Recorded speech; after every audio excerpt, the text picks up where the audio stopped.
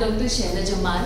I am a gynecologist by profession and a social activist by passion. Till now, I have conducted nearly 300 camps for women health, education and their nutrition in Delhi and NCR region.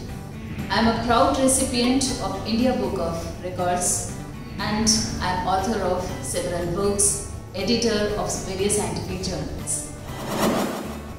This is the time that I should announce my proud association with Pinkishe Foundation and I am going to be launched as an expert on their Pink Talk platform.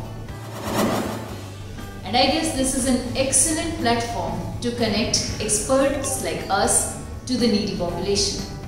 Through this, I'll be solving all your queries pertaining to gynecological, sexual, reproductive health as well as your mental well-being.